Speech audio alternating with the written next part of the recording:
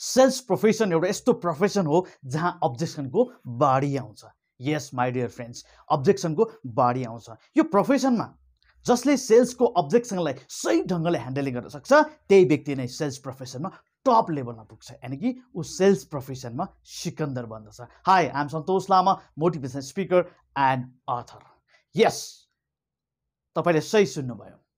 आजको यस भिडियोमा तपाईँलाई तपाईँको सेल्समा आउने कुनै पनि अब्जेक्सनलाई कसरी ह्यान्डलिङ गर्न सकिन्छ भन्ने विषयमा फोर स्टेप्स अप्रोच लिएर आएको छु। फोर स्टेप्स अप्रोच लिएर आएको छु।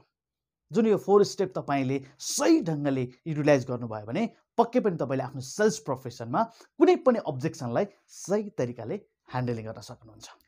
यदि तपाईँ यो च्यानलमा पहिलोचोटि यो भिडियो हेर्दै हुनुहुन्छ भने यो च्यानललाई सब्सक्राइब गर्न भने नभुल्नुहोला। म यस्तै यस्तै तपाईँको लागि पावरफुल भिडियोजहरू लिएर आउनेछु र सँगै रहेको बेलायकनलाई भने थिच्न नभुल्नुहोला। यस अघि नै मैले भनिसकेँ तपाईँलाई तपाईँको सेल्समा आउने कुनै पनि अब्जेक्सनलाई सही ढङ्गले कसरी ह्यान्डलिङ गर्न सकिन्छ भन्ने विषयमा तपाईँलाई आज म बताउनेछु। सम्भवतः तपाईँले सेल्स प्रोफेसनमा लागिसके पछाडि कुनै प्रडक्टको तपाईँले प्रेजेन्टेसन देखाइसके पछाडि सम्भवतः धेरै यस्ता अब्जेक्सनहरू आउने गर्दछन्। तीमध्ये पनि तपाईँलाई म के कस्ता अब्जेक्सनहरू आउन सक्छन् त तीमध्ये पनि टप फोर अब्जेक्सनको बारेमा तपाईँलाई बताउँछु।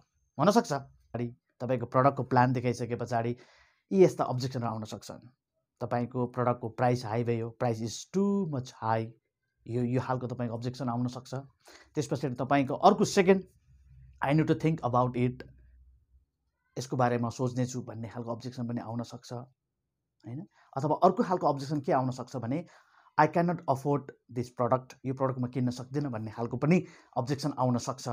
र अर्को कुरो भने I need to discuss with others अथवा म घरको मान्छेसँग सल्लाह गर्न सक्छु अथवा मेरो श्रीमतीसँग सल्लाह गर्छु अथवा दाईसँग सल्लाह गर्छु अथवा बुवासँग सल्लाह गर्छु यी यावत कुराहरू अब्जेक्सन तपाईँले यो अब्जेक्सनलाई तपाईँले कसरी ह्यान्डलिङ गर्न सक्नुहुन्छ त?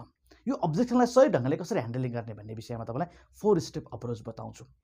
पहिलो नम्बरमा रहेको छ लिसन दोस्रो नम्बरमा रहेको छ अन्डरस्ट्यान्ड तेस्रो नम्बरमा रहेको छ एक्नोलेज र चौथो नम्बरमा छ आस्क राइट क्वेसन यी चारवटा कुरालाई तपाईँले सही ढङ्गले युटिलाइज गर्नुभयो भने पक्कै पनि तपाईँले कुनै पनि अब्जेक्सनलाई तपाईँले सही ढङ्गले ह्यान्डलिङ गर्न सक्नुहुन्छ। र यो कसरी गर्ने त? त्यसो भने यो फोर स्टेप्सलाई हामीले कसरी अब्जेक्सन ह्यान्डलिङ मा हामीले युज गर्ने त भन्ने विषयमा जाउँ। हुनसक्छ तपाईँको प्रडक्टको प्राइस हाई भएको छ भनेर तपाईँलाई भनेको छ भने तपाईँले के गर्न सक्नुहुन्छ भने पहिलो कुरो उसले भनेको कुरालाई राम्रोसँग सुन्नुहोस्। र सुनिसके पछाडि त्यो कुरालाई अन्डरस्ट्यान्ड गर्नुहोस्। उसले किन त्यो प्राइस हाई भनिरहेको छ। र उसले भनेको कुरालाई एक्नोलेज गर्नुहोस् स्वीकार गर्नुहोस् अग्री हुनुहोस् आर्गु नगर्नुहोस् डिनाइ नगर्नुहोस्। र अग्री भइसकेपछि लास्टमा तपाईँले यो प्राइस हाई छ भनेको कुरालाई तपाईँले आस्क राइट क्वेसन गर्दाखेरि चाहिँ जहिले पनि तपाईँले डिस्क्रिप्टेड एन्सर आउने कुरा तपाईँले गर्नुपर्ने हुन्छ। यानि कि एन्सर यस अथवा नो आउने हिसाबले तपाईँले प्रश्न सोध्न हुन्न। यसमा कसरी तपाईँले भन्न सक्नुहुन्छ? यस तपाईँले पक्कै पनि भन्नुभएको कुरा एकदम सही हो। यो प्रडक्टको प्राइस एकदमै हाई छ। एकदमै सही हो। तर तपाईँले यो प्रडक्ट हाई हुनुको मेन कारण तपाईँलाई के कस्तो लागेको हुनसक्छ?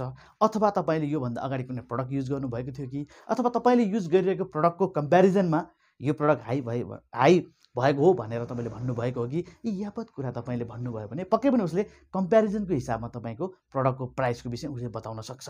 र त्यो प्रडक्टको प्राइस उसले बताइसके पछाडि अलरेडी कुनै प्रडक्ट उसले प्रयोग गरिरहेको छ भनेर उसले भनिसकेको छ र त्यो प्रडक्टभन्दा तपाईँको प्रडक्टको प्राइस हाई छ भनेको खण्डमा तपाईँले कसरी भन्न सक्नुहुन्छ भने त्यसो भने तपाईँले प्रयोग गरिरहेको प्रडक्टको बेनिफिट भ्यालु यो थियो भने यो प्रडक्टको बेनिफिट र भ्यालु चाहिँ हिजो तपाईँले प्रयोग गर्दै आइरहेको प्रडक्टभन्दा पक्कै पनि यसको प्राइ प्राइस हाई छ। किन पनि हाई छ भन्दाखेरि यो प्रडक्टको बेनिफिट यस्तो यस्तो छ। यो प्रडक्टलाई दिने तपाईँको सुविधाहरू यस्तो यस्तो छ। यो कारणले गर्दाखेरि यो प्रडक्टको प्राइस तपाईँले युज गर्दै आइरहेको भन्दा अलिकति हाई छ।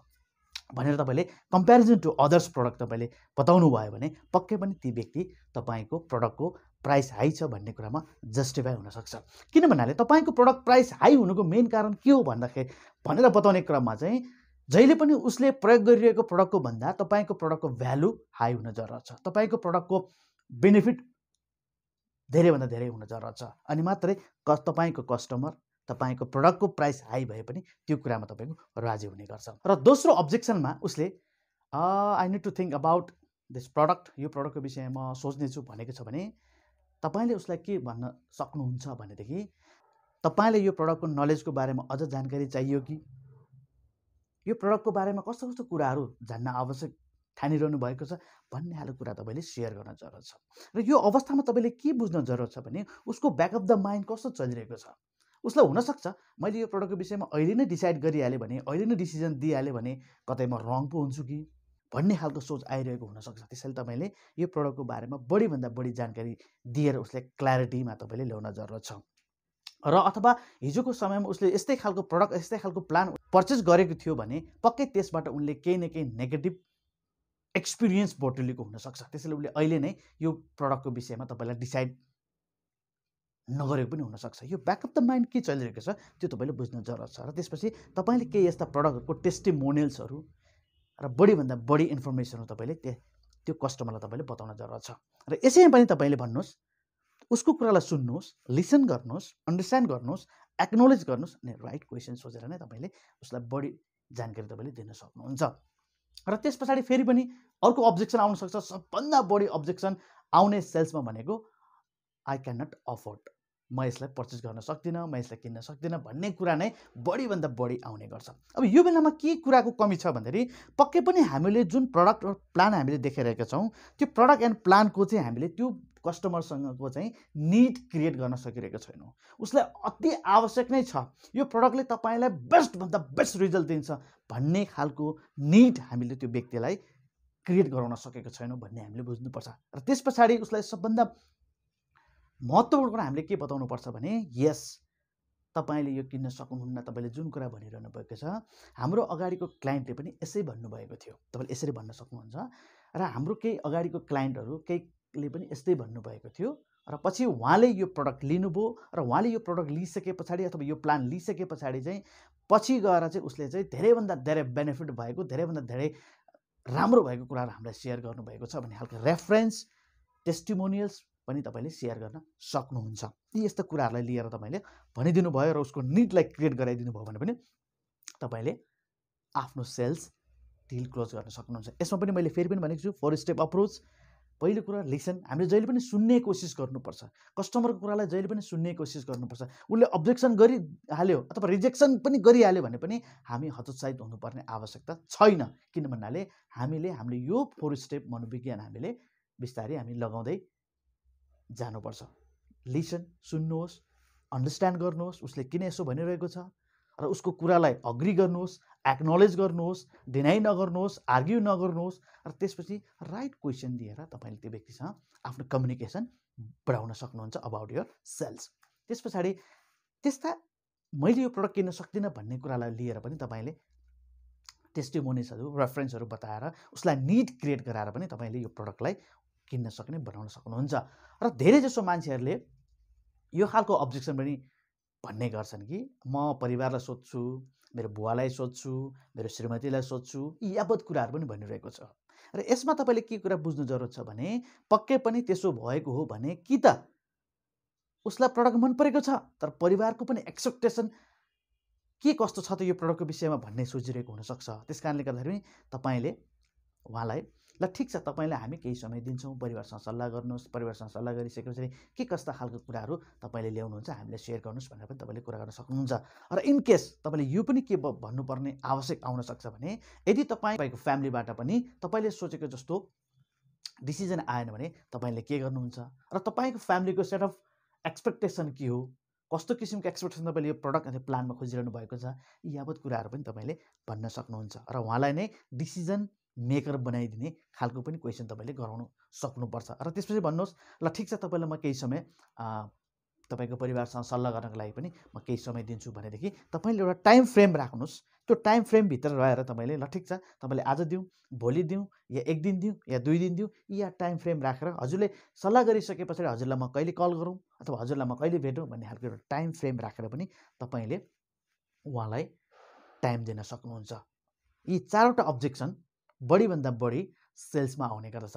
पहिलो नम्बरमा के थियो? प्राइस एकदम हाई छ। दोस्रो नम्बरमा के थियो?